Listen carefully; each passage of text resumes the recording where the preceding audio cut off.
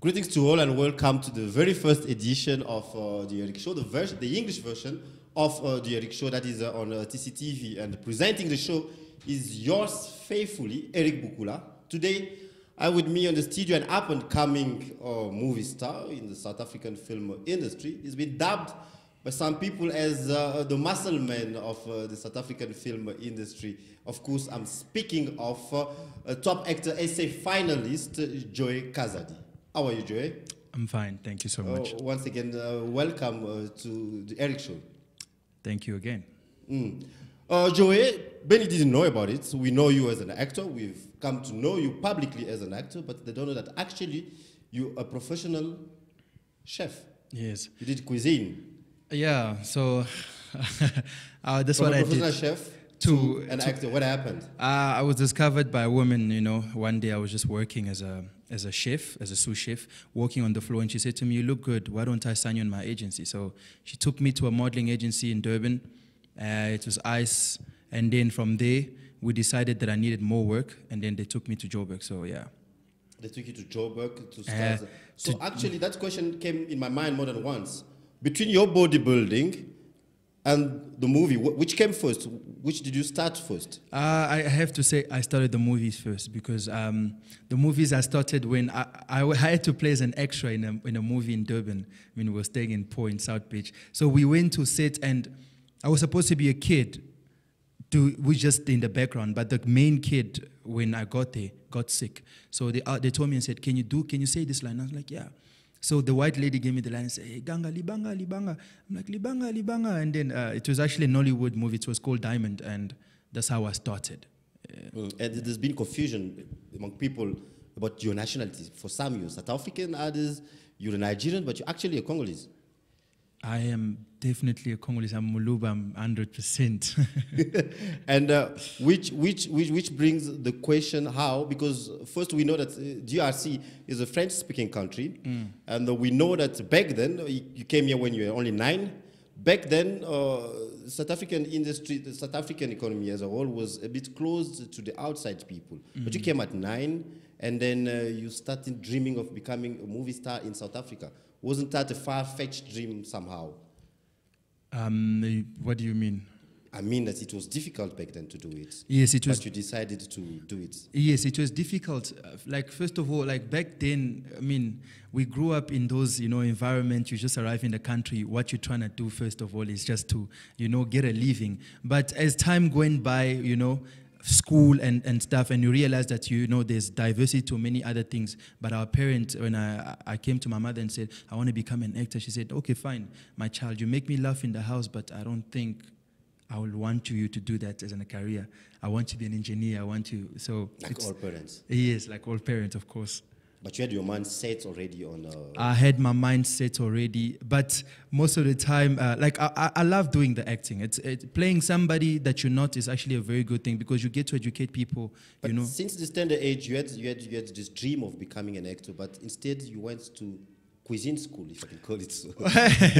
well, I, I went to cuisine mainly because, first of all, I'm going to be honest, I'm not good in maths or physics. So my mom was, as a teacher, said to me, you have to do something that's practical, something that you do with your hand, you know, that could be quick. So I went and I did my course for a year, and then I went to do another practical for a year. And then I worked for a long time in the cuisine, you know. I, I, can, re- I can really cook. I was going to ask you that question. Yeah, good at it? I can really cook. Although as time is going by, I'm into the acting now, but I can really make food. You know. Okay, What's your favorite food when it comes to cooking? Well, my favorite food, first of all, has to be our food, Congolese food. I mean, it's very, you know, the nutrition are very, they're natural and everything. And then my second favorite has to be uh, Italian. Italian. Yeah. Okay, let's come back to uh, Joey, the actor. And you spoke about this white lady that uh, actually uh, came to you and suggested that you started uh, uh, acting. Uh, when did exactly your career start? When, when did you have this, this kick start in your career? Uh, my kickstart had to be in 2011. So I arrived in Joburg in 2010. I started, you know, fighting to, to get an agency. I got an agency. got signed in 2011 by you know the Gano agency, and then I got my first gig only in 2012. That was Strike Back. The Vengeance. the Vengeance of Strike And Back. then you and it was a big one. Lieutenant Joy. Yes, and then that came. That that's exactly what brought questions to people who were like because you were acting as a, a, a what like a bodyguard or was- arm, a was- member of, of an armed group, a Nigerian armed group. Yes, I was actually I was actually playing a lieutenant. So a, you know, a rebel, a lieutenant, a chief of rebels. So A Nigerian lieutenant. And I, yeah, so uh, you know, but I give it my best. Yeah, it my it, best. It was definitely good because, as I said, many people came to think that actually you were a, a- a Nigerian, And then what came next? Uh, after that came Intersexions. Uh, I'm sure you know Intersexion is the show of peop- that people teach. Um, you know, it, it was brought to teach people about HIV and AIDS. You know, the you know the virus indeed.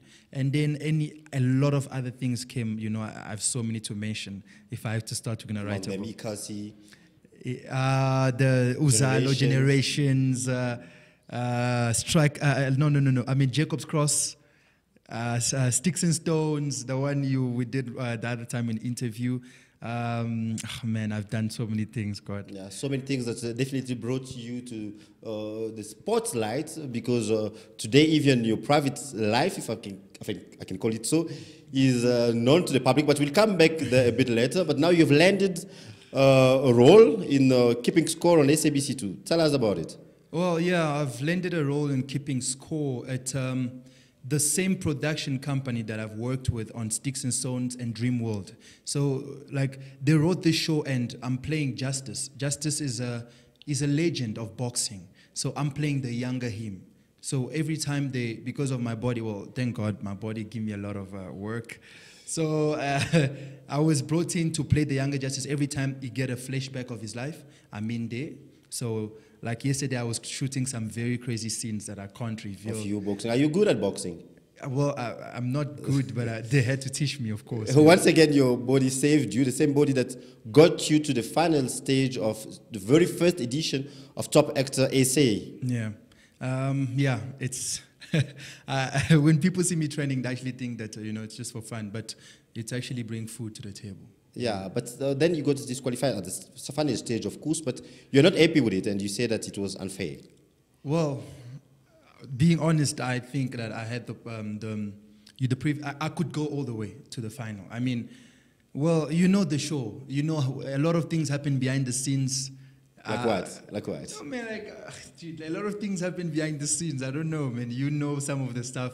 So, look, I'm, I went out, but you know, it's life. It carries on, and yeah, congratulations to the winner. So. Congratulations to the winner. Okay, that's uh, you, the star. Uh, you, the star, and as I said, your private life has come to know to be known to the public. Let's start by this question because there's so much controversy around your datings. Who do you date right now? I'm dating uh, my Congolese girlfriend, it's fiance. Okay, so that we may not be confused. What's his her name? Her name is uh, Mwadi Kamanji Roberta. Yes. The reason as to why I'm asking this question because it's been said so much in newspapers about your. So how are we gonna call? How long have you been dating her?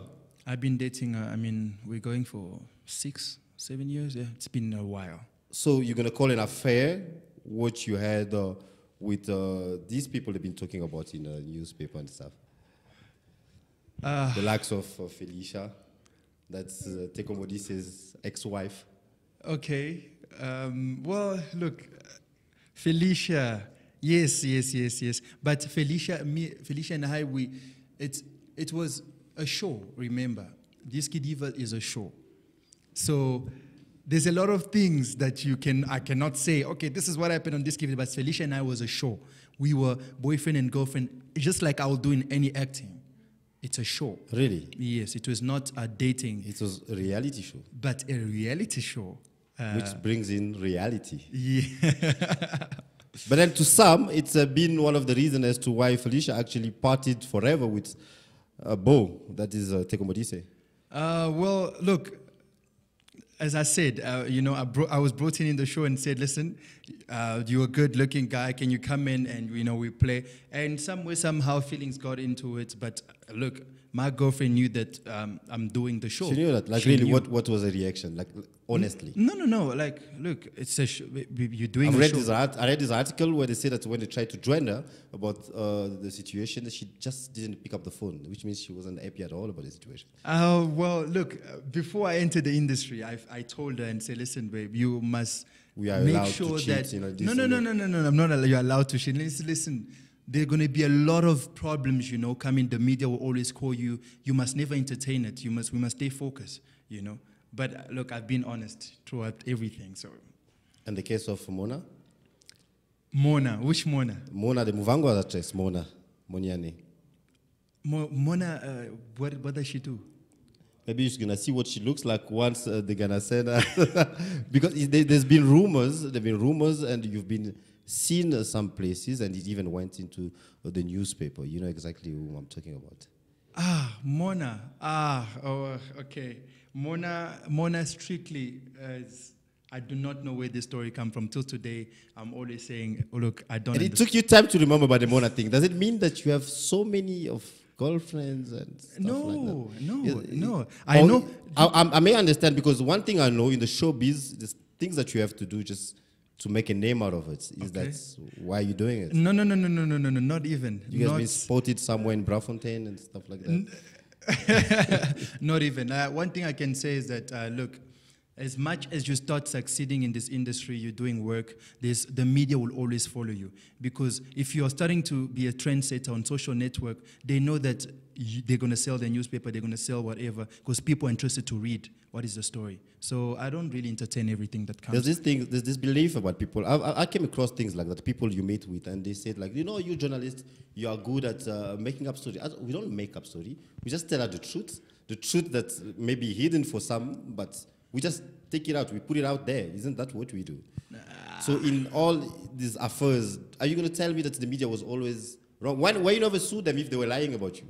Well, no, no, no. I did not say Diski Diva was wrong. I was on Oh, the show. okay. I, I- I was on the show, and I was Felicia's boyfriend on the show, which is, you know, the whole world watched. But I'm uh, the Mona story. Uh, look, I, I really don't know where it comes from, and I've never entertained it. In every in, uh, interview they ask me, I just keep quiet about it. But where did the thing come from, according to you? Uh, it came from people just seeing maybe us in Braamfontein, maybe talking. Look, I'm not going to deny it. I know her and say, hey, Mona, how are you doing? But people always have a story to say. So, uh, you know, yeah. People always have a story to tell. Uh, this is, I remember this Show, the first very, uh, very first edition of uh, the English version of the Show. I know the studio with me, I have a professional actor, uh, Joey Kazadi. Joey, uh, now that you are making it out there, you are, uh, it's really a first because even in, especially in South Africa, it's hard. We've seen it less, less, and that's uh, Congolese national making it big as you're doing. What's your feelings when you think about it? When you look back two, three years ago and say, "No, that was back then. That was me. Now this is me." Ah, man, I, I, every time I look at it, you know, my feelings are just like I've got only God to thank, you know, because it's it's it's very very hard, especially if you're in a country that you can, the only role you can get is speaking English. So it's very very hard, but I thank God every time. Mm, Yeah. Thank God. And uh, do you? We, we know that uh, there's always this. Uh, okay, people tend to say that uh, South African are xenophobic, but uh, do, you, do you feel it in your in your in your industry? Do you feel it when you, you meet with other people, with other actors, and you're like, oh, is a Congolese? Actually, I thought you. Do you do you get to? L- Look, one thing I can say is that everywhere in the world, people will be always have, have their favorite. But at times, yes, I do feel, I'm going to be honest, I do feel and say, oh, th- there's favoritism here, and this person is actually getting this role because, you know, I'm not, you understand. It happens, it happens a lot, but, and the people that are doing it are in power. I mean, what can we do? You get what I'm saying? What can we do? But we just cheer, we try. Whenever we get a role, we say, thank God. So what do you plan to do? What do you plan to do? Like maybe to to move on to Hollywood, Nollywood, Bollywood, or maybe to go back to go back uh, home or something. I've been approached to um, go to Nollywood by different um, producers on Instagram via, you know, the messages. They've approached me for a couple of, you know, times, you know, come to Nollywood. So I think my style of acting will actually do well in Nollywood. And Hollywood is it's, it's quite a big, big, big industry, and the things that you have to fill up to get there. Are you scared? No, look, I'm not saying I'm scared, but I don't want to go and waste my time. what do you mean waste your time? I mean, why don't you try? I mean, people have tried before. Yes, but like the, the advice I was giving by Charles, I know I don't know if you know Charles. Charles is the, the old man on in Prison Break. When we did Strike Back, he said, "Make a name of yourself in Africa first. It will be easier when you get to to Hollywood. They'll recognize you easy." You know, so if you make a name here, you go there, and it will be easy for you to get movies and you know shows. Uh, So Speaking of making a name in Africa, I would say making a name in Congo. That's where you come from. Uh, tell me, are you planning to, I don't know, to start something? Because let, let's say it, you're very much known in South Africa, more known in South Africa than actually in your home country, that is DRC. What are you planning to do exactly to change that, or are you not even planning to change that? Well, my dream is always to bring the one Oscar home one day. I mean, to be the first that we could ever give to the Congolese co- community. But um, I'm planning one day to go back. Of course, I'm not here to stay forever. I want to go back home and you know, and get involved in the film industry. Tell our stories. There's a lot of stories that are not being told, especially with uh, politics and our history as the Congolese people. So, if we can be given the found to do that, we'll Tell a story. Tell, speaking of telling a story, when I look at the Congolese uh, film industry compared to others, when we see the rise of Nollywood, they've come to speak about their own uh, stuff. They went away from what may, we may call action movies or American style movie, and they, they- started their own thing. Speaking of uh, story of witchcraft and other uh, realities that uh, they live there in, uh, in Nigeria. What do you think can bring about the change in Congo? What can bring the rise in Congo? Because so far we are nowhere to be seen. What do you think that you can bring, or what change that need to be made in uh, the Congolese film industry, if there's any, so that uh, we may also uh, come to the level of Nollywood and others? Ah, I think the main change that I can bring in the industry of our film, it's uh, look, we, we we tend to make it too much as a joke, you know. Sometimes we have to be like look. I'm gonna give an example. Like in South Africa, look at how everything are being. We have script, we have everything, but back home people tend to make it too theater, you know. TV is all about keeping up here, you know, with, with, with, your face, emotions. At times in Congo, when I'm even watching the, the, the, the um, how can I call it, theater, I cannot recognize actually, drama, exactly. I, I, I find it hard to, to find the emotion in the person that, you know, the character, because everyone is now trying to make everyone laugh. You know what I'm saying? So It's mostly comedy. Yes, it's mostly comedy. So I want to bring that seriousness to, to a character of, of, of, of, of, you know, people that are playing in the play.